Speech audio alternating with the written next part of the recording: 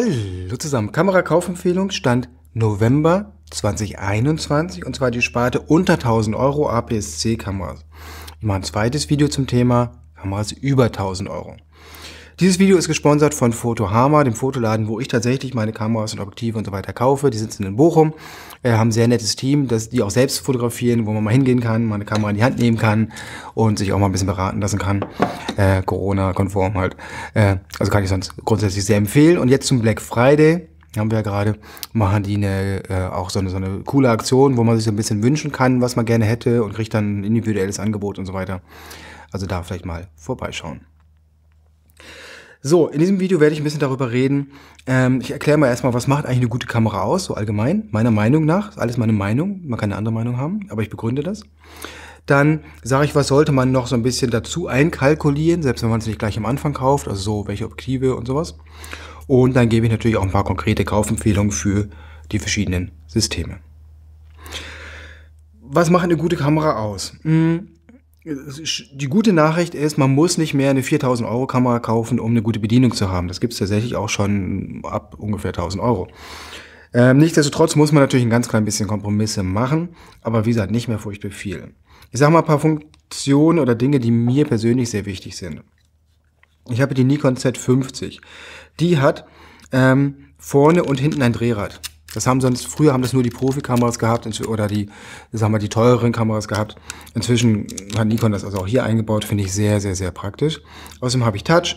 Äh, ich kann also alle Funktionen auch sehr einfach über das Touch-Menü einstellen. Sehr, sehr nice ist, dass Sie hier einen Button haben, den Magic Button. Der ist dafür da, ich kann umschalten zwischen nur Display, nur Sucher oder halt Automatik. Das braucht man nicht oder man kann sich einen Function-Button äh, programmieren natürlich und so weiter, aber es ist halt vorgesehen von vorne raus. Also an dieser Kamera muss ich nichts umprogrammieren. Wenn Sony-User werden wissen, mehr Function-Buttons sind besser, weil dann kann man mehr umfunktionieren, damit die Kamera endlich, endlich bedienbar ist. Und hier ist sie halt von Hause aus vernünftig bedienbar. Außerdem habe ich hier einen ISO-Button. Wenn ich vorne den drücke und vorne drehe, schalte ich zwischen ISO-Automatik und ISO manuell. Benutze ich super viel. Und wenn ich den drücke und hinten drehe, dann schalte ich die ISO-Wert durch. Also ich kann blitzschnell wechseln zwischen ISO-Automatik und ISO 800 und wieder zurück zur Automatik und so. Nutze ich super viel, gerade gerade wenn ich zu Hause mein Kind fotografiere. Ich habe eine dreieinhalb Jahre alte Tochter, die nicht wirklich macht, was ich sage. Und sie fotografiert, egal drinnen draußen, fotografiere ich häufig in Action. Da will ich eine kurze Verschlusszeit haben. Aber manchmal hält sie auch still.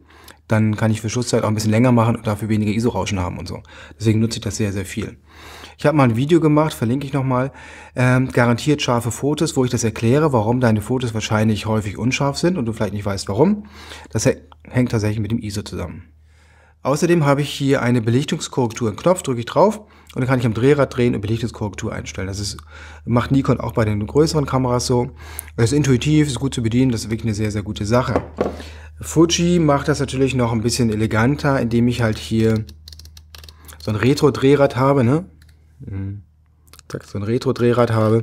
Das ist die XT3, die kostet allerdings aktuell immer noch über 1000 Euro, aber knapp drüber. Deswegen habe ich sie mal dazugestellt. Sony bei den guten Kameras machen das auch so. Ich habe hier oben ein Drehrad. Nicht bei allen. Ne? Es gibt natürlich die neue äh, A7 IV, die das voraussichtlich dann nicht mehr hat, aber ein Stück weit doch. So Hauptsache Sony ist ja gut drin. Alles mal einfach, einfach mal anders machen. Hauptsache man macht was anders, auch wenn es schlechter ist. Naja, die APS-C-Kameras haben das leider so nicht. Man kommt aber ziemlich schnell dran, man drückt nach unten und dann kann man korrigieren. Äh, also man gewöhnt sich da auch ganz, ganz schnell dran. Und dann ähm, habe ich gesagt, ich möchte gerne Touch haben und so weiter. Und gerne äh, Display. So, jetzt bei der Nikon ist es so, ich kann das Display nach oben klappen. Das ist super, wenn man so auf dem Stativ arbeitet. Das ist die beste Lösung. Wenn man so auf dem Stativ arbeitet, ist es die schlechteste Lösung, weil ne, gerade bodentief arbeiten auf dem Stativ oder ich fotografiere meine Tochter häufig auf dem Boden, also sehr tief, dann muss ich mich immer daneben auf die Seite legen, damit ich was sehen kann und kann dann halt nicht gut gucken und so weiter. Äh, das versaut mir häufig Fotos, dass ich eben, wenn ich das nicht habe. Das haben die Sonys halt leider nicht, also nicht anders. Was die äh, Fuji da sehr, sehr gut macht, da habe ich das auch. Dann kann ich aber einen Knopf drücken und dann kann ich hochklappen. Sieht man das? Das heißt, jetzt kann ich bodennah arbeiten äh, oder generell hochkant arbeiten. Super Funktion, die Nikon auch übernommen hat für die neue Z9, für die Profikamera von Nikon. Äh, Entschuldigung. Schätze ich total, meiner Meinung nach die aktuell beste Lösung so. Weil man hat so ein bisschen Beste aus beiden Welten. Es gibt natürlich Kameras, die haben ein Klappdisplay, das man nach vorne klappen kann.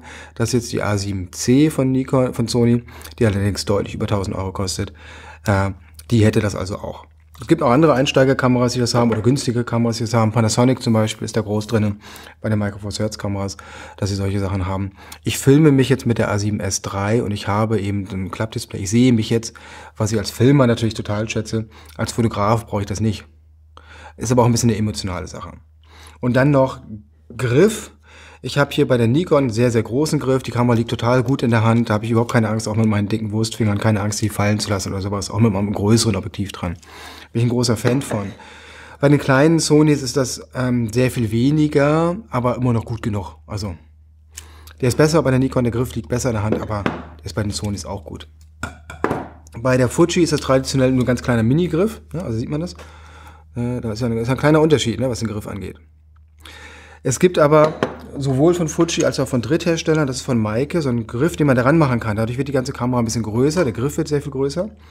Die Kamera liegt dann besser in der Hand, zumal der kleine Finger, der passt halt hier nicht drauf, bei den anderen auch nicht.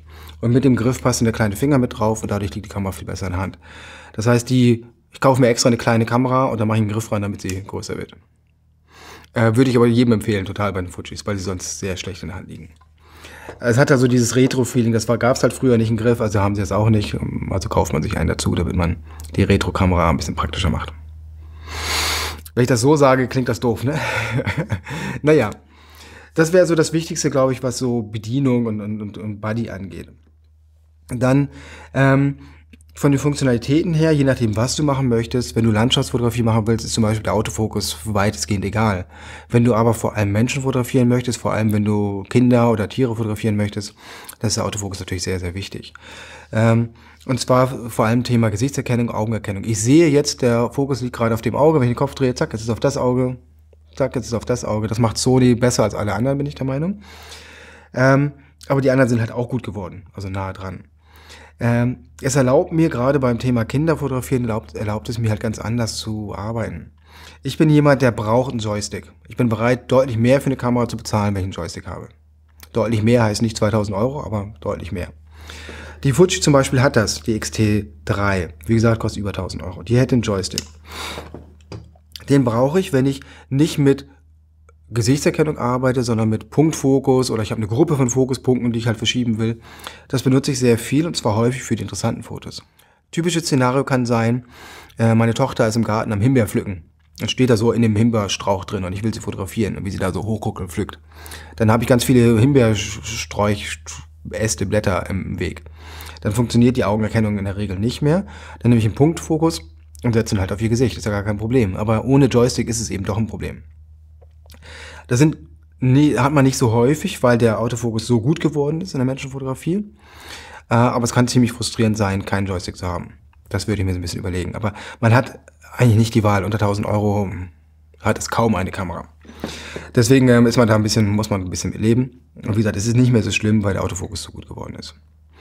ISO-Rauschen, ähm, also wenn du, wenn du wenig Licht hast, dann werden die Bilder ja so rauschig. Das ist auch sehr viel besser geworden als früher. Nicht so gut wie beim iPhone oder so zum Beispiel. Die, die zaubern halt ein bisschen mit, mit, der, mit der Software. Ne? Ähm, ist sehr viel besser geworden. Vorsichtig vielleicht so ein bisschen bei Fuji. Fuji ist bekannt dafür, dass sie sehr wenig Rauschen haben und jeder weiß das, oder fast jeder weiß, dass es eigentlich ein bisschen gemogelt ist. Ähm, jetzt sind die Fuji-User wieder sauer, weil ich das verrate, aber es, eigentlich weiß es doch jeder. Äh, Fuji unterbelichtet. Das heißt, normalerweise, wenn ich zwei Kameras nehme und das gleiche Foto mache, müsste ich die gleichen Werte einstellen können. Dann müsste das gleiche Bild rauskommen. Um das gleiche Bild zu haben, muss ich bei Fuji ungefähr eine zwei Drittel blenden, also ich muss einen Tick überbelichten. Wenn ich das nicht mache, wenn ich das gleiche einstelle, ist das Bild einfach zu dunkel. Dann habe ich weniger Rauschen oder genauso viel Rauschen, aber das Bild ist zu dunkel. Ich muss es ja heller machen nachher und dann habe ich wieder Rauschen drinnen. Deswegen da nicht blenden lassen. Ähm, ich würde sagen, die sind alle so ein bisschen auf Augenhöhe.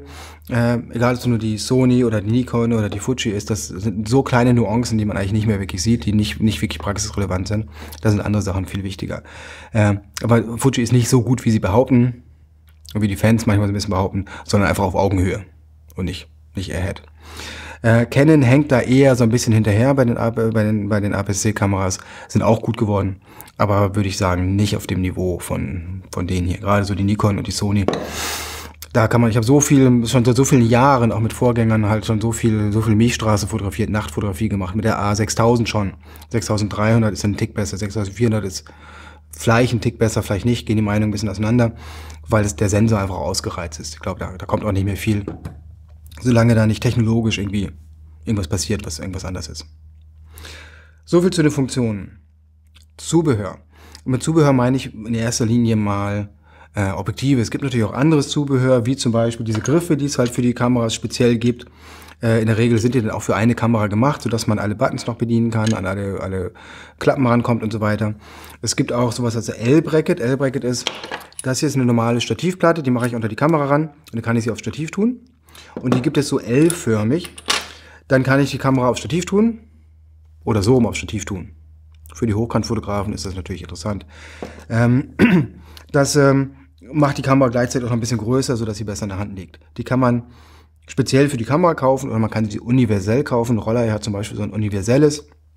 Das passt dann so ein bisschen an alle Kameras ran. Man kommt aber eventuell nicht mehr ganz richtig gut an alle Klappen ran und so. Klar, ist eine Preisfrage einfach. Ne? Aber im Wesentlichen reden wir hier von Objektiven. So, Objektive. Das Problem bei Einsteigern ist immer so ein bisschen, man weiß, man kauft ja so eine Kamera, damit man Objektive wechseln kann. Aber man weiß am Anfang vielleicht noch nicht welche. Ähm, so, jetzt wird es ein bisschen schwierig. Ich würde immer empfehlen, eine Festbrennweite. Von vornherein eine Festbrennweite. Wenn du so eine Kamera kaufst, kauf eine Festbrennweite dazu. Meinetwegen gebraucht. Aber kauf eine dazu. Welche ist ein bisschen schwierig. Ich arbeite tatsächlich privat äh, überwiegend so mit der A7C, klein, kompakt und ich habe das Klappdisplay. Ich habe sehr, sehr guten Autofokus und ich habe hier dran 28 mm 2.0 von Sony. Ja, man sieht's ja, klein und kompakt. Das ist kleiner als die APC-Kamera oder genauso groß wie die APC-Kamera, auch ungefähr genauso schwer. Äh, APC-Kamera hieß ja früher immer kleiner und günstiger. Günstiger ja, aber nicht mehr kleiner.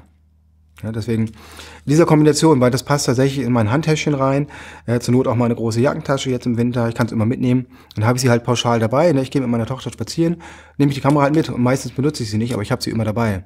Und dann kommt die große Pfütze, meine Tochter springt da rein und so weiter, patschnass und so. Und ich kann ein Handyfoto machen, aber ich kann halt auch das Foto machen. 28 hm? mm ist ungefähr das, was das iPhone hat an der Hauptkamera. Also super, super flexibel. Natürlich ist kein Zoom, aber super flexibel.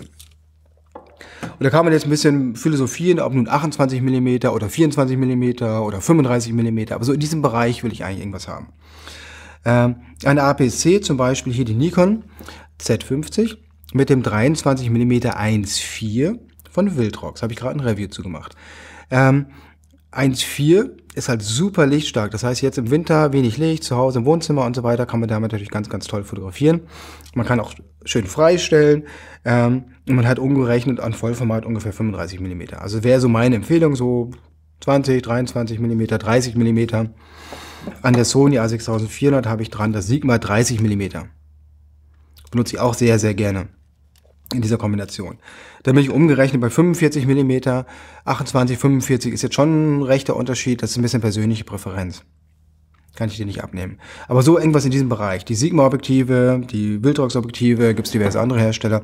Und gibt es natürlich auch die Originalobjektive. Bei, gerade bei Fuji natürlich auch sowieso, die haben ja auch eigentlich alle gängigen ähm, Festbrennweiten auch direkt von Fuji mit dem entsprechenden äh, Preisschild dran. Ich habe Review zu gemacht, zum Beispiel Wildrox für Fuji.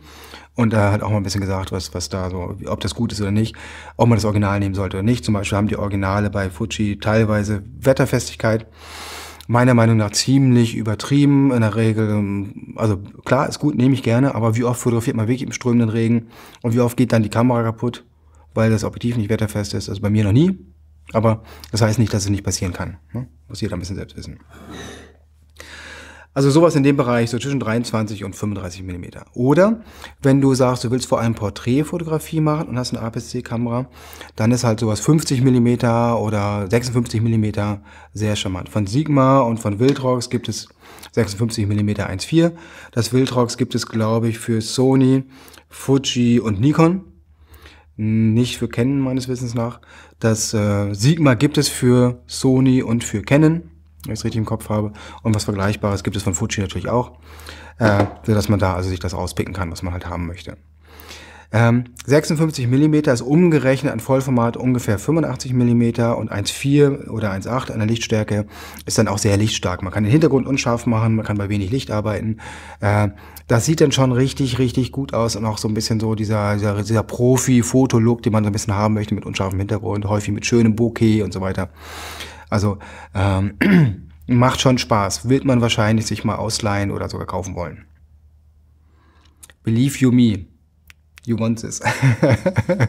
also muss natürlich jeder selbst wissen. Aber wenn du viele Porträts machen möchtest, äh, wirst du früher oder später da landen. Und dann natürlich so ein, ganz wichtig, so ein Allround-Zoom. Persönlich habe ich überhaupt keine Kit-Objektive, kaufe ich nie, äh, weil die in der Regel, ne, die kosten, die Kamera kostet dann 50 Euro mehr oder 100 Euro mehr, bei Fuji ein bisschen mehr. Äh, dann ist das Objektiv ein bisschen besser, aber bezahlst, 5, bezahlst 50 Euro fürs Objektiv. Da kannst du nicht das gleiche erwarten wie ein 500 Euro Objektiv. Das ist halt natürlich so ein bisschen so. Ähm, deswegen wäre meine Empfehlung da, und das geht halt zum Glück heutzutage. Ich filme jetzt mit der A7S III mit dem 2470 2.8. Das ist so das Profi-Werkzeug, was fast jeder Profifotograf hat, weil das so flexibel ist und man alles damit machen kann, so dass das Allround-Werkzeug halt. Das gab es bislang nicht an APC, vorsichtig. Wenn ich das jetzt sage, schreiben so ganz viele, doch, es gibt auch dieses und jenes gerade von Fuji. Nein, gibt's nicht. Ganz wichtig, an Vollformat Blende 2.8 ist nicht das gleiche wie an APS-C Blende 2.8. Ein Stück weit schon, aber nur ein Stück weit. Wir haben ein ausführliches Video gemacht zum Thema APS-C gegen Vollformat. Ich verlinke das am Ende vom Video nochmal, wo wir das ausführlich erklären. Das ist das Video mit dem Flipchart, wo wir es ausführlich erklären. So, was es aber gibt, es gibt mehrere, für die verschiedenen Systeme gibt es ähm, sowas in der Größenordnung 1750 oder 1650, 1755, so in diesem Bereich Lichtstärke 2.8. Das heißt, du hast ein lichtstarkes Objektiv, das immer drauf sein kann, mit dem du so ein bisschen so kind of alles machen kannst, ähm, mit dem du ein bisschen freistellen kannst, mit dem du eben, wie gesagt, im Wohnzimmer bei wenig Licht arbeiten kannst, als Reiseobjektiv, Reisezoom, super flexibel kostet nicht mehr die Welt. Ähm, von Tamron gibt es verschiedene Varianten davon. Von äh, Sigma gibt es halt eben ähm, was, von Sony gibt es was, von Fuji gibt es natürlich was. Das würde ich tatsächlich, wenn du jetzt überlegst, eine Kamera zu kaufen, jetzt Black Friday und so weiter, mach dir mal einen Warenkorb und pack deine Kamera da rein, egal welche, 6400 und dann das Sigma oder Tamron Objektiv dazu. Das Paket oder halt die Fuji und das Paket. Weil das willst du haben wollen, früher oder später. Leist dir eventuell mal aus, wenn du die Möglichkeit hast. Also das kann ich sehr, sehr empfehlen. Kann man nicht auch Vollformat anschließen? Gerade die Sony-User, die haben die Möglichkeit. Tamron hat das, äh, was ist das, 28, 75 glaube ich, 2.8 für Vollformat. Das kann man natürlich auch in APC benutzen. Das machen auch viele, das weiß ich, kenne ich mehrere, die das machen.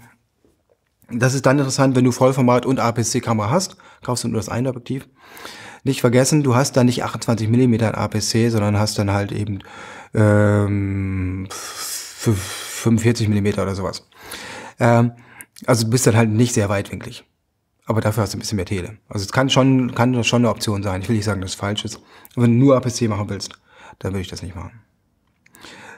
Wenn du viel Landschaftsfotografie machen willst, dann halt eben einen super Weitwinkel. Das kann eine Festbrennweite sein. Ich habe ja jahrelang habe ich fotografiert mit dem 12 mm Samyang für Sony. Das gibt's aber zum Beispiel auch für Fuji. Äh, äh, ja, super klein, kompakt, kann man viel mitmachen. Äh, alternativen Zoom, so 10, 16 oder sowas in der Größenordnung, 11, 16, wie auch immer, gibt's in der Regel auch von Drittherstellern in verschiedenen Varianten. Äh, das kann man natürlich auch machen. Ist mal ein bisschen flexibler in der Landschaftsfotografie. Optional ein Tele.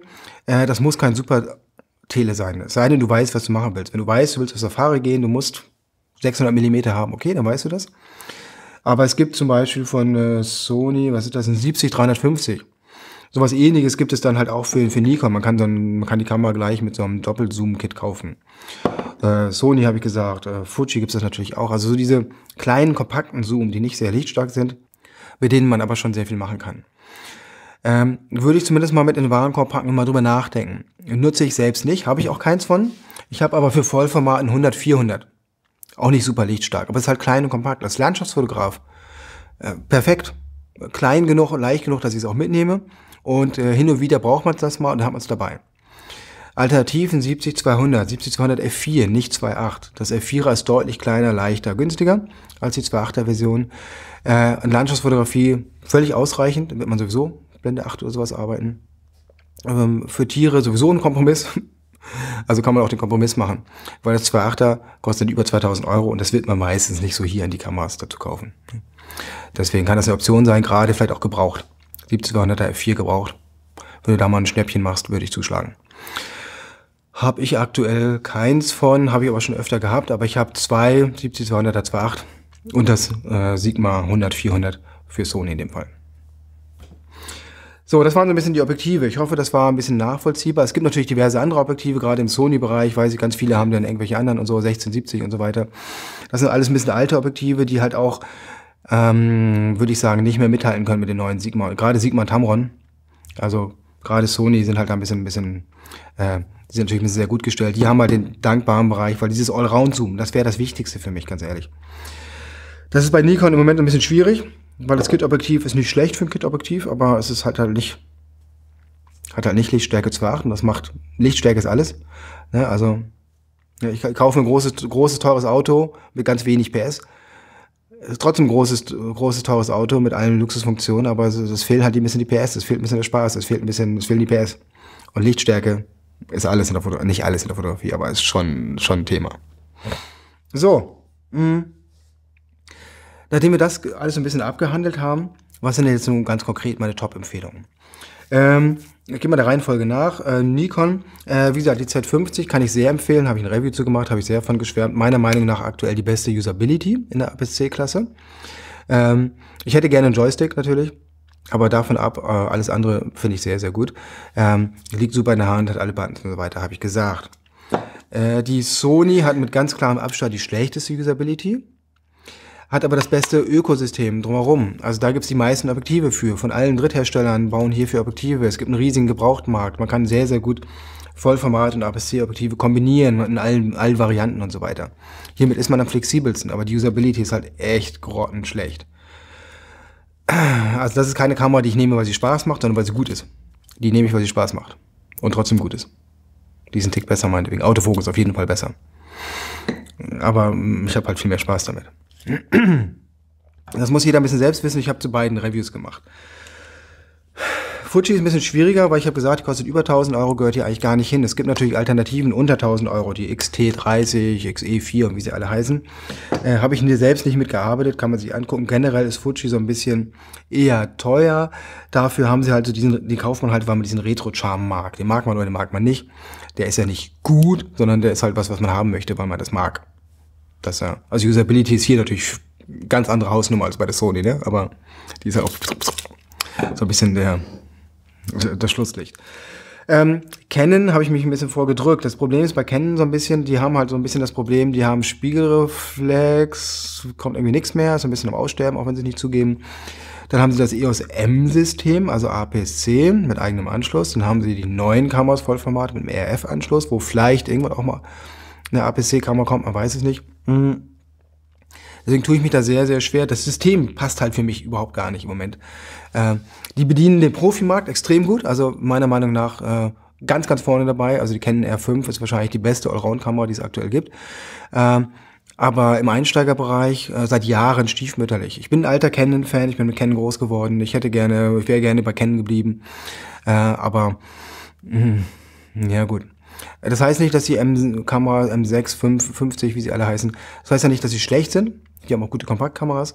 Aber mh, ISO-Rauschen ist schon nicht dasselbe, das Ökosystem ist nicht dasselbe und so weiter. Tue ich mich ein bisschen schwer mit, das zu empfehlen. Aber wie gesagt, das heißt nicht, dass sie schlecht sind. Was ist mit Kompaktkameras. Ich habe jahrelang eine Sony Kompaktkamera dabei gehabt, über die Jahre dann halt immer neuere, so gerade so als Reisekamera oder zum Bergwandern oder sowas immer dabei, klein, kompakt und so weiter. Das Problem ist, dass die Handys so gut geworden sind, dass ich seit Jahren die andere nicht mehr mitnehme. Ich weiß gar nicht, wo sie ist. Ich habe sie vorhin gesucht und nicht gefunden. Irgendwo wird die sein, die X100, weiß ich nicht, drei, vier, fünf, weiß ich nicht mehr. Ähm, also schon ein paar Jahre alt. Ähm, wie gesagt, benutze ich nicht mehr, kann ich auch wirklich nicht mehr empfehlen, weil das ist eine Kamera, die kostet dann deutlich über 1000 Euro, die aktuelle. Ja, es ist halt klein und kompakt, aber für die ganzen Schnappschüsse ist egal, nimm das Handy. Und für die anspruchsvollen Fotos nimm lieber sowas. Deswegen tue ich mich ein bisschen schwer mit Kompaktkameras. Und wie gesagt, ich benutze keine mehr und ich empfehle die auch eigentlich nicht mehr. Außer für Leute, die halt einfach nicht fotografieren wollen, sondern mehr müssen oder ein bisschen Spaß dran haben, aber die sich mit der Technik nicht auseinandersetzen wollen. Die wollen keine Objektive wechseln. Die wollen eine Kamera im großen Zoom-Bereich und wollen halt nicht wechseln. Ja, den Markt gibt es natürlich und den wird es auch weitergeben. Da kenne ich mich einfach nicht gut mit aus. Muss ich ein bisschen dazu sagen. Deswegen kann ich da keine gute Empfehlung geben. Was, es gibt natürlich noch andere Systeme, also Micro Four Thirds und so weiter und so fort.